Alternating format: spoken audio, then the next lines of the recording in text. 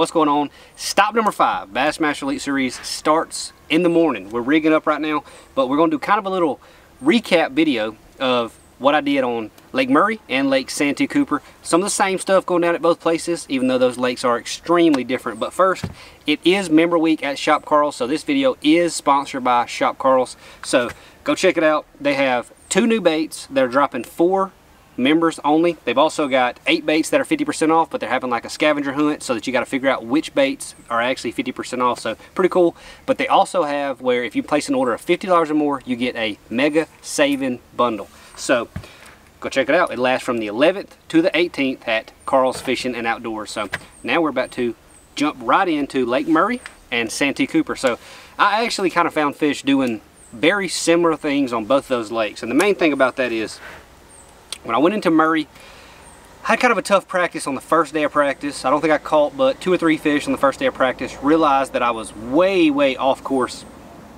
So ended up starting to ride around, troll down the bank, look for fish, saw some spawning, saw some swimming around on points, stuff like that. So really showed me kind of the areas of the lake that the quality fish were in. And even though they were very difficult to get a bite, that's where I really wanted to spend the time whenever I was fishing the tournament. So I knew that if I could just generate a couple of those bites a day, I was gonna have a really, really good tournament. And I was able to do that on the second day and third day. I was able to get some of those really good bites, but on day one, I had lean all on bedfish.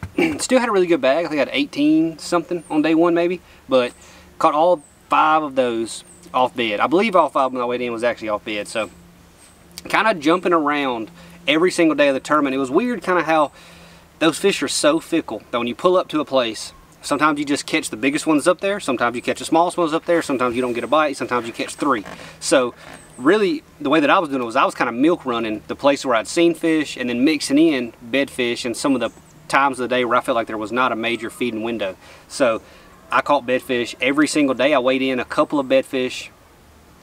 I want to say the first day I weighed in five, the second day I weighed in two, and the last day I weighed in two. So I was kind of mixed it up. I was out there using forward face sonar on that mid-range stuff to see those fish that are outside on those points, kind of when they're not actively busting on herring, you can see them out there over some of those points. I was able to catch some of those every day on a wacky rig.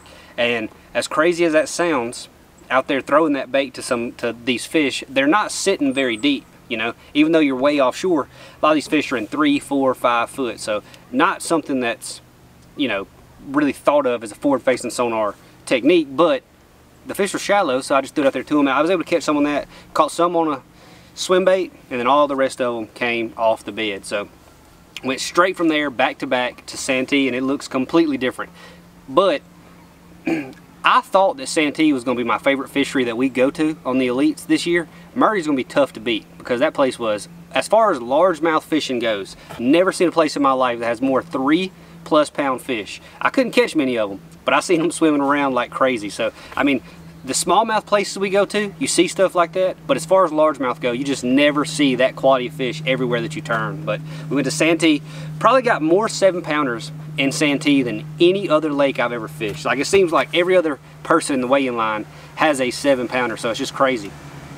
I was lucky enough to catch one of those fish on day one, and I caught it very similarly. I was using forward face sonar, and I caught a 660 out of a brush pile. Started off the day, had, had a tough practice on Santee too, actually. On the very end of day three of practice, I went in one little place, and I saw like six or eight on bed. So I decided to go there and start. So I pull up to the first like four bed fish, they were all gone. So I pull up to another one that I thought was a three pounder and I catch it and it was a four pounder. So then I throw a wacky rig up to a tree and I catch like a 575.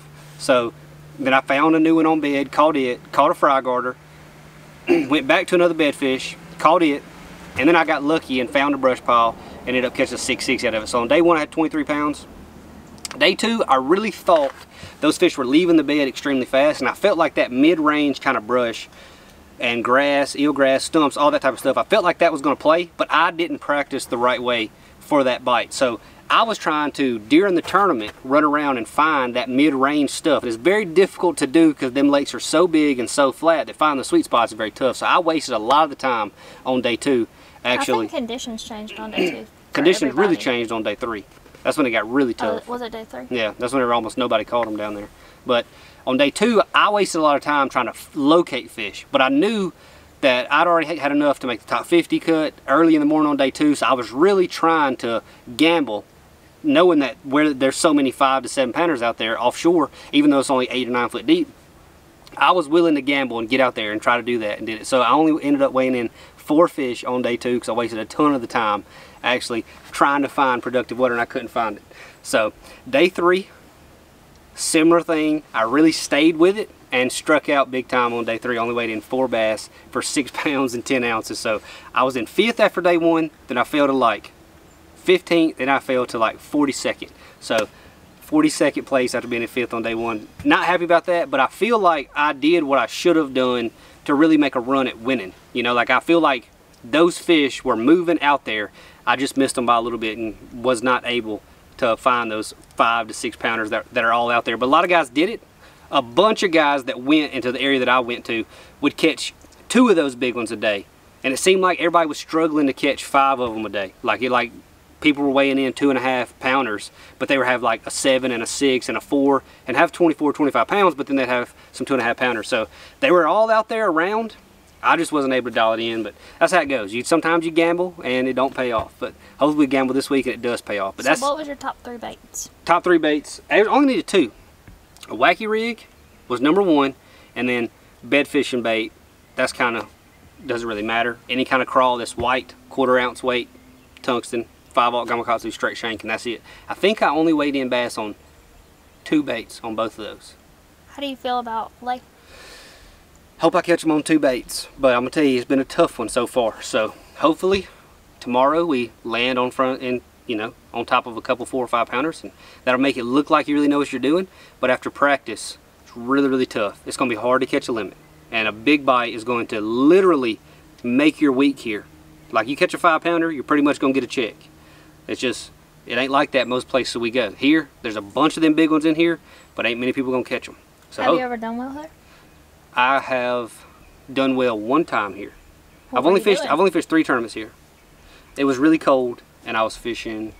I don't want to say what I was doing, but it was really cold, and I was doing something a lot different. But, anyways, actually that tournament I caught one off bed. I think it was the last week of February.